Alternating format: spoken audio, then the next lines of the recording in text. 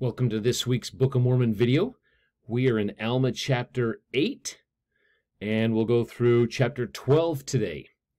We're going to give a little historical background and a little context and a little bit of content from the Book of Mormon for this week. And so if you'll go with me to Alma 8, let's begin. If you recall, Alma is the, uh, he was the chief judge, but he set that aside, gave that over to somebody else that he might focus more fully on being the religious leader, the high priest over the land, uh, running the church on earth, God's spokesman.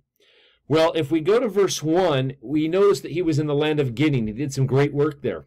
But he leaves, and it's interesting at the end of verse 1, what does he do? He goes home, back to Zarahemla, the capital city, and he rests, which I think there's a, a power in when we're finished with our work uh, to rest, uh, to recoup, to build strength and energy. I think there's a discussion worth having there is do we work really hard six days of the week and do we really rest on the seventh? Some great things. Let's go to verse 3 now because he's going to go to a, a, the land of Melek. And then he's going to go north. Verse 6 says it's a three day journey north of the land of Melek. He comes to the city called Ammonihah. Now, this is an important city. Because the geography here plays a role here because they're three days north of all of these Nephite lands that we've been talking about. You have to recall that the, the Lamanites and that nation is south. Then you have these Nephite nations in capital city, and way up north, three days journey, we have Ammonihah. That gives this city, we'll find out, a artificial sense of security. Because when Alma tells them, repent or this city's going to be destroyed in one day, they look at him and think, you're nuts. There is no way that the Nephites could be destroyed, let alone all the way up here to our powerful and great city. The Lamanites would take days, maybe weeks, months, maybe even years to get up to where we're at, is what they might be thinking in the back of their, their mind. So let's see what, what uh, Alma's going to do here. Uh, verse 7 is interesting. It says the name of Ammonihah, of the city, is named after the man who settled it. This happens a lot. Uh, if you'll notice the footnote of your scriptures, it puts the footnote of Moriancumer, which is really interesting because nowhere in the Book of Mormon is there a name of an individual called Moriancumer. It was Joseph Smith who, at one time, I, I believe the story goes, he, somebody says, Joseph, will you please bless my baby? And after he blessed the baby, he uh, gave the baby the name Mahonri Moriancumer. There's a name you want somebody to give your, your son. And they said, Wow, where did you get that name? I'm sure they said it just like that too. And Joseph said, It just revealed to me that was the name of the brother of Jared. So Jared gets the name Jared. His brother gets the name Mahonri Moriancumer. Well, in the footnote there, uh, the land is called Moriancumer. That's where we get that name from. Kind of fun. Uh, another place is in Second Nephi chapter five, when the Nephites, those who follow Nephi, leave Laman and Lemuel. Uh, they get together. They call the land Nephi after Nephi. They even call the next king Nephi after Nephi. So this is a, a trend. It's a popular thing. It's interesting. In America, many of our lands have one of two names. One is it's either a, a, name from the American Indians. What was it called before? What did the Indians call the land? And another one is they give it their English name or their European name. I mean, how many cities are New York versus the old York in, in the old land? Uh, New England and so forth. There's many of them. But in this case, it's named after the first person. Maybe we do that a little bit.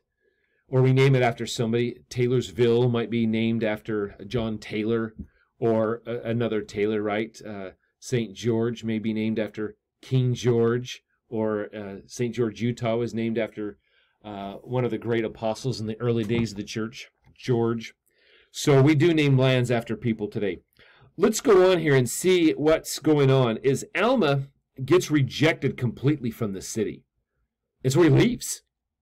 I mean, they're not nice to him. In fact, if you look at verse 13, Uh, 10 tells us he labored much in the spirit, wrestling with God. I mean, this was not an, uh, I'm done. This looks like the city's waste. He's diligent in here. But what's the reaction of this people? Verse 13. Now, when the people had said this and withstood all his words and reviled him and spit upon him and caused that he should be cast out of their city, he departed. I don't know, maybe it's my culture that I grew up in, but how low has your society dropped to where spitting upon somebody you disagree with is acceptable? Maybe we're seeing that uh, today, certain parts, certain cultures. To me, that is a pretty uh, base level of treating another individual that you disagree with. Especially in this case, it's a prophet. The Holy Ghost has to be piercing their hearts. They're just rejecting the whole message here. So he leaves. But what happens? Well, we know that the angel comes to him and says, Go back. Now, it's interesting that the angel that visits Alma is the same angel that visited Alma earlier when his dad's prayer was being answered to awaken my son. And Alma was shook and dropped to the earth and unconscious and so forth. But he's not the only angel in this story here. Amulek also has an angel comes and tells him, hey, there's a prophet of God, you're going to find him, welcome him, help him. Uh, we don't know if it's the same angel or a different one. It never says in the story here, but it's a, it's a great story of angels preparing people for great work. Let's go to chapter 9 now. In chapter 9, we're going to go to verse 4. Alma and Amulek go out together now, and, and there's some great stories. Hope you read it and have a good time with the reading there. But in here, it says, the people of Ammonihah said, they said also, we will not believe thy words. Now, they're making that a conscious decision. I want you to think about this. Is belief a choice? Or is it something we're just blessed with? Oh, we just believe I was born this way. Uh, here, they're making it. This is the people of Ammonihah. We will not believe. In other words, we're making a choice not to believe what you say. We're not even going to try. I think maybe there's a lesson in there, a principle that believing is a choice. You have to choose to want to believe before you'll ever be able to believe something. Uh, I think there's a great thing. And in there, again, there says, we're, we're not going to believe that the city's going to be destroyed in one day. Uh, great words in there. Let's go down to verse 18. Again, this is Alma 9, verse 18. Behold, I say unto you, that if ye persist in your wickedness, that your day shall not be prolonged in the land, for the Lamanites shall be sent upon you. And if ye repent not, they shall come in a time when you know not, and ye shall be visited with utter destruction, and it shall be according to the fierce anger of the Lord. So notice, God is not going to destroy this city without multiple warnings, including Alma being sent back to tell them, I not only am telling you to repent, I'm now giving you forewarning that if you don't repent, you're going to be destroyed. Now, eh, let's go to chapter 10 for a moment. This is a story where the people say, Why would we believe you? They're interested in who people are, whether they believe them or not. In other words, you'll notice when they first started out, it's like, Hey, you know, Alma, you're not the chief judge anymore. You're not somebody who we consider important anymore. So we don't have to listen to you. It's all about who are you to before I have to listen to you. So when Alma shows up, and now Amulek's with him, and I think God chose Amulek for a reason, so they'll have a second witness here, and it's somebody who they should listen to, according to their definition of who they should listen to. Notice in verse 2, Amulek stands up and he preaches, and the first thing he does is he gives the reason why they should listen to him. In other words, he's stating not his authority, but their definition of why I'm important. He gives his genealogy. I'm the son of Giddonah, who was the son of Ishmael. I'm a descendant of Aminadab. And then here we know uh, this one little side note that we know nothing about It was the same Aminadab who interpreted the writings which was upon the wall of the temple, which was written by the finger of God. We have nothing else in the scriptures that tells this story. So in here, somehow there was this story where the Lord wrote on the temple with his finger, and I know my virtual background, my finger disappears. But when it does, the Lord writes on the wall.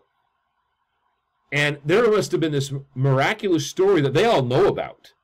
And he's giving, you should listen to me because that guy that you all know about, I'm his whatever ancestor, his descendant. And he even goes in verse 3 I come from Nephi, who came from Lehi. I'm a descendant of Manasseh, the son of. So we know here that Lehi and his descendants, they're not Ephraimites, they're Manasseites. So that, I think, plays some interesting stories we won't talk much about today. Verse 4 Behold, I am also a reputation of no. Excuse me, let's start that again. again. Behold, I am also a man of no small reputation among all those who know me. Yea, and behold, I have many kindreds and friends, and I have acquired much riches by the hand of my industry. He sets that up because they might listen to that rather than, you know what, I'm nobody, but I'm called of God. I mean, Joseph Smith, really 14 year old obscure boy in New York. Nobody should listen to him except the fact that it was God who called him. In this case, they're like, You're not going to listen to a prophet who used to be the chief high priest. But let me tell you why you should listen to me. And that's what Amulek's doing here. And he gives some great messages here. Let's go to verse 14 for a little more background to this story. And again, as you read all the verses and add the depth to it, and use your Come Follow Me resources or other resources to add principles and doctrine and power, uh, let's just add a little bit of background. Verse 14 says, Now it was those men who sought to destroy them who were lawyers, who were hired or appointed by the people to administer the law. So this isn't the common people out in the street attacking Alma and Amulek. This is a very specific group of people who because of their profession, have been chosen or are choosing themselves, or maybe a combination of both, to go and attack Alma and Amulek. Uh, they're they're lawyers, and that's what their their job is. notice verse verse fifteen. They were learned in all the arts and cunning of the people. You know, there are some people that get sent to court, and they just don't have an articulate way to uh, express their viewpoint. And lawyers just use their fancy words and legal understanding to manipulate and control things. And that's what's happening here. Except there's one thing different about Alma and Amulek. The power of God is with them, and they're both educated in the law. One was the chief judge, the other is a man of no small reputation. So all of the crossing of words, trying to do their little tricks, uh, fail Let's go to chapter 11 for a moment. Uh, this is an interesting beginning to a chapter. I really believe everything that Mormon put in these plates, uh, the, this record, brings us to the Savior. But the first many verses, first 20 verses, deals with Nephite coinage. And there's a lot of interesting discourses about what's the most effective way to have money. In other words, it's not a 1, a 5, and a 10, and a $20 bill. Uh, if you have a one and a two and a four dollar bill, there's ways to make it more energy, uh, uh, more savings. In other words, with three bills, you can have just about any amount of currency, and the Nephite coinage has that. There's some great things about that. But more importantly, I want you to think about I think there's a power in what they're trying to do. They believe money will buy any sense of power, influence, uh, and people are corrupted by it. Offer enough money, they'll give in. Uh, but it's interesting here how strong Amulek is when he says, "No, I'm not in it for the money." So there's some interesting things here. Let's go straight to. Oh, how about go to verse 37? We have Zeezrom and his argument, and then Amulek debating, and it's really a spiritual debate, which I think can be healthy. I know there's some people out there like, I don't really want to argue religion. I don't think you argue, but I think we should have a freedom to everyone express your uh, point of view because the Spirit will testify truth.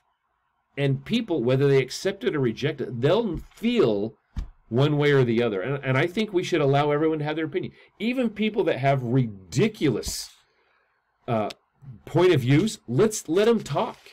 I've know some people that have shared some heavy anti-Mormon literature, and and people are like, well, we need to stop that. I go, no, let them talk. The more they rant, the more we they're exposed to who they really are and what they really want to say. Whereas I think give us time with our message of we are the church of Jesus Christ of Latter-day Saints. We love the Lord. We worship him and we honor him and we have prophets that guide and lead this work today. I think if we can share our message the way it truly is intended, I, people will hear that message. And likewise, if there are people out there saying horrible, evil things about the church, let them share their message, but make sure we stand up and share uh, the truth, and then people will have a, a an understanding of who's what. Let's go to verse 37, I said. And I say unto you again that he cannot save them in their sins. So here's this debate between Zeezrom and Amulek. Can God save people? Anybody? And Amulek's going to say, God cannot save us in our sins. I think there is a major discussion that should be explained on the difference between in and from our sins. What does it mean to save somebody in their sins versus what does it mean to save somebody from our sins? What I mean by that is if I am a sinner and I'm going to continue to live in my sins and I have no expectation or uh, plan on changing my sins, God is not going to come down and save me in my sins. But I am a sinner. I have made major mistakes in my life and I continue to make mistakes, but I'm trying to make them better. And most importantly, I'm turning my heart over to the Savior. I'm trying to be born again. In that case, the Savior says, I'm going to save you from your sins. There's some great things in there. Uh, continuing on in the verse, He hath said that no unclean thing can inherit the kingdom of God the kingdom of heaven. Therefore, how can ye be saved except ye inherit the kingdom of heaven? Therefore, ye cannot be saved in your sins. So think of that line as he goes through this discussion and this debate here, while we move on to the rest of this chapter. Chapter 11 may be the best chapter in all of scriptures about the resurrection. What is it? The definition is in here probably as clear as any definition uh, I've ever heard of it. In fact, that's verse 43, which we'll get down there. So jump down to the 40s.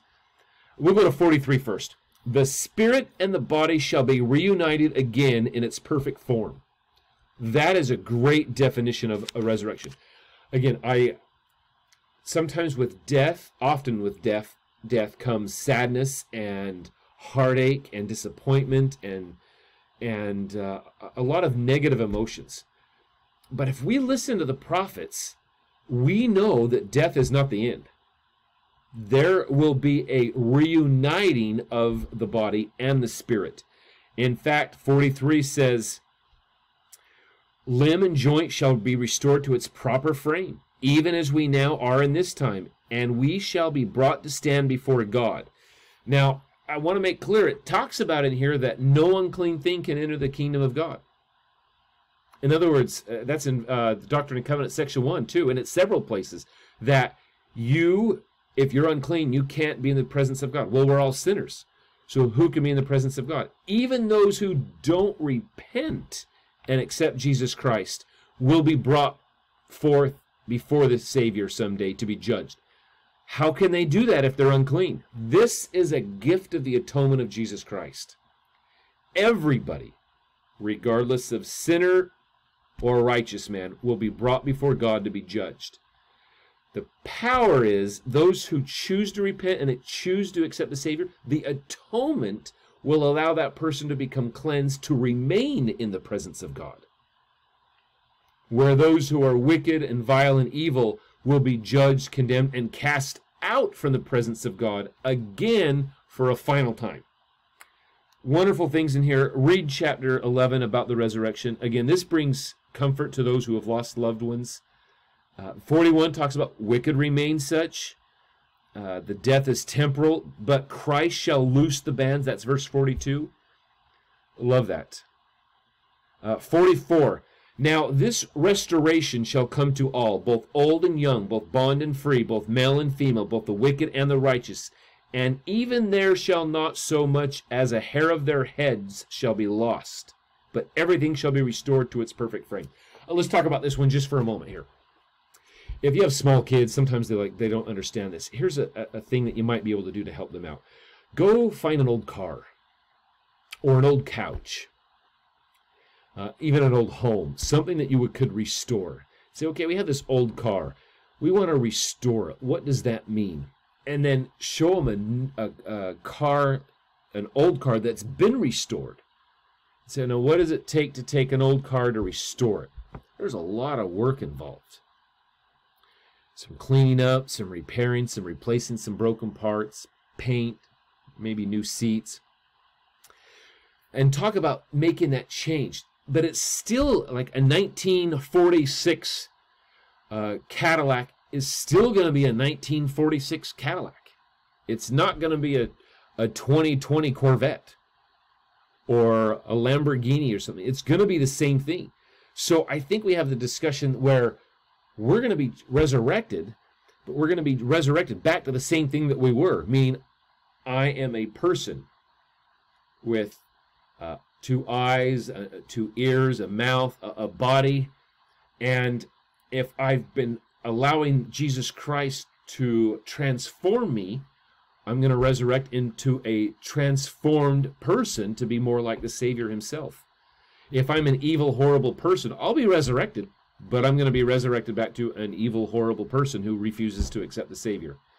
So you can have a great inter- interesting discussion about a restoration and uh, you know go on a little family home evening activity and see a, a restored car and one that needs to be restored and have a little fun with that. Let's go to chapter 12 now. This is our last chapter of this scripture block. As they continued and finish up this great uh, teaching to these people here in this wicked city, uh, I want to go to verse 6.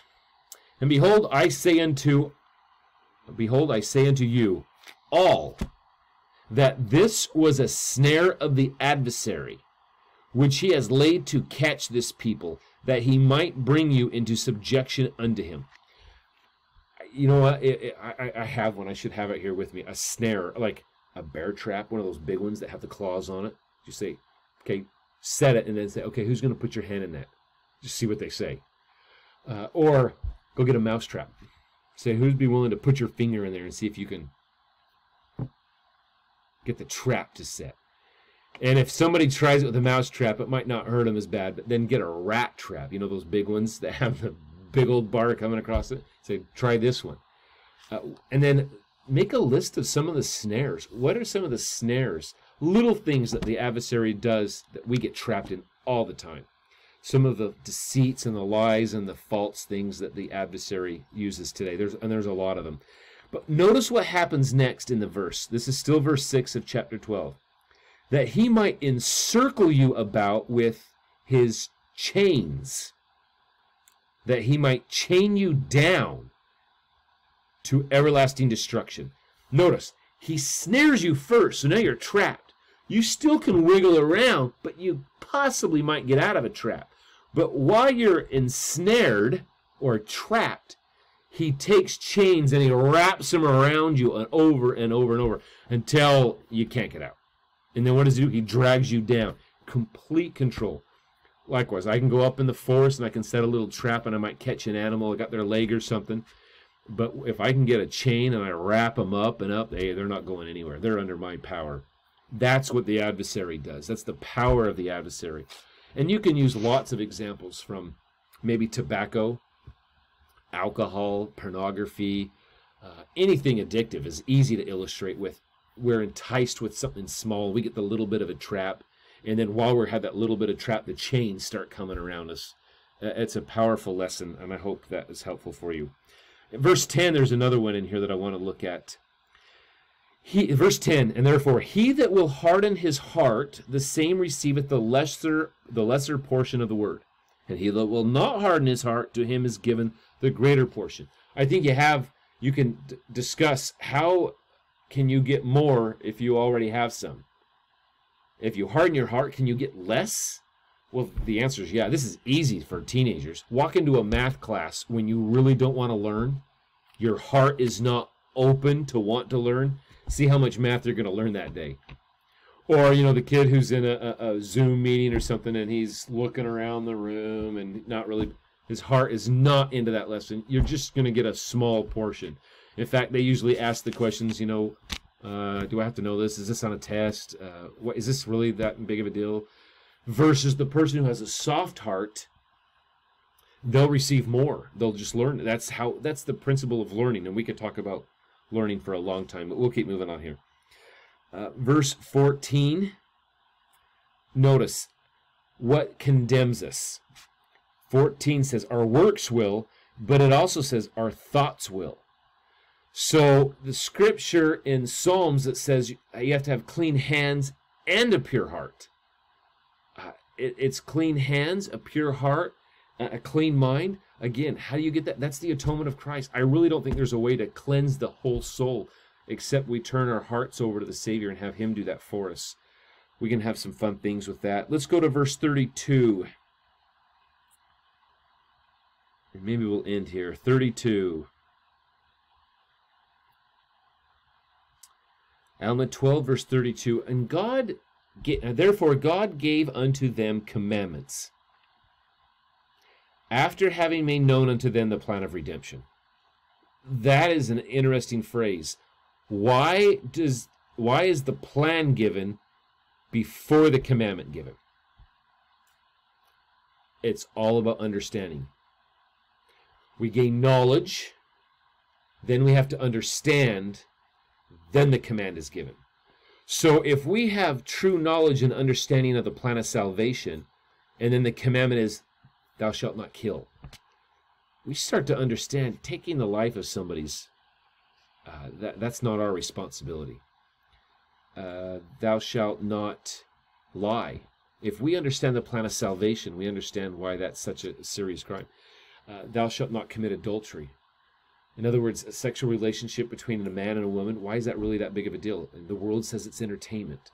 Uh, God says, let me teach you the plan of salvation. And once you learn about the, the covenants God made with Abraham that we have today, we start to understand, boy, I'm, I'm messing with eternal families. And the plan makes the commandments make sense.